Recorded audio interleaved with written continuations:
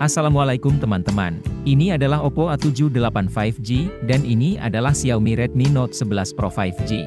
Harga Oppo A78 5G untuk RAM 8 dan memori 128GB ini Rp3.999.000. Sedangkan Xiaomi Redmi Note 11 Pro 5G untuk RAM 8 dan memori 128GB adalah Rp4.099.000. Yuk langsung aja kita lihat perbedaan spesifikasi antara Oppo A78 5G dan Xiaomi Redmi Note 11 Pro 5G ini. Sebelum lanjut, boleh dong klik dulu yuk tombol subscribe-nya, makasih yey. Kita mulai dari layarnya ya. Oppo A78 5G pakai layar IPS LCD berukuran 6,56 inci dengan resolusi 720x1612 pixels dan refresh rate 90 Hz. Layar Oppo A78 5G udah dikasih pelindung layar Panda Glass dan punya sertifikasi IP54 jadi tahan cipratan air dan debu. Sedangkan Redmi Note 11 Pro 5G pakai layar Super AMOLED dengan ukuran 6,67 inci dengan resolusi 1080x2400 pixels dengan refresh rate 120 Hz. Layarnya dikasih pelindung layar Corning Gorilla Glass 5 dan sudah punya sertifikasi IP53 jadi tahan cipratan air dan debu. Lanjut ke operating systemnya, Oppo A78 5G pakai operating system Android 12 dengan Color OS 13. Sedangkan Redmi Note 11 Pro 5G pakai operating system Android 11 dengan MIUI 13. Lanjut lagi ke chipsetnya, Oppo A78 5G pakai chipset MediaTek Dimensity 700 dengan GPU Mali G57.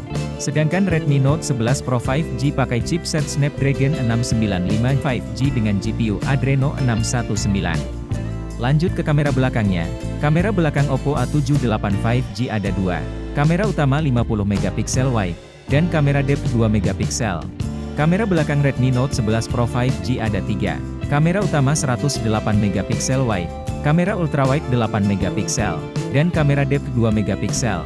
Untuk pengambilan videonya, Oppo A78 5G support pengambilan video dengan resolusi 720 dan 1080 pixel pada 30 fps. Redmi Note 11 Pro 5G support pengambilan video dengan resolusi 720 dan 1080 pixel pada 30 fps. Sekarang kita ke kamera depannya. Kamera depan Oppo A78 5G punya resolusi 8MP dan support pengambilan video dengan resolusi 720 dan 1080 pixel pada 30 fps. Kamera depan Redmi Note 11 Pro 5G punya resolusi 16MP dan untuk pengambilan video support di 720 dan 1080 pixel pada 30 fps. Lanjut ke NFC ya. Oppo A78 5G ada fitur NFC-nya. Redmi Note 11 Pro 5G juga ada fitur NFC-nya. Terakhir ke baterainya, Oppo A78 5G punya baterai dengan kapasitas 5000 mAh dan dikasih charger dengan kapasitas charging 33 Watt.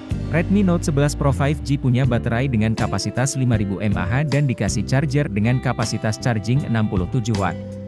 Kesimpulannya, Oppo A78 5G punya kelebihan di operating sistemnya yang udah pakai Android 12, dan harga yang 100.000 lebih murah untuk kapasitas RAM dan memori yang sama. Sedangkan Redmi Note 11 Pro 5G punya kelebihan di layarnya yang udah pakai layar Super AMOLED, punya ukuran layar yang lebih besar, punya resolusi layar yang lebih besar, punya refresh rate yang lebih besar, pakai chipset dengan performance yang lebih ngebut, punya resolusi kamera utama yang lebih besar, punya kamera ultrawide 8MP, punya resolusi kamera selfie yang lebih besar, dan dikasih charger dengan kapasitas charging yang lebih besar.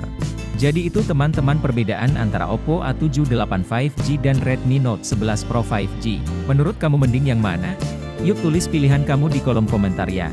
Terima kasih udah nonton sampai habis, semoga bermanfaat. Kalau belum subscribe yuk bantu channel ini dengan klik tombol subscribe-nya. Dan kita bisa ketemu lagi di video selanjutnya.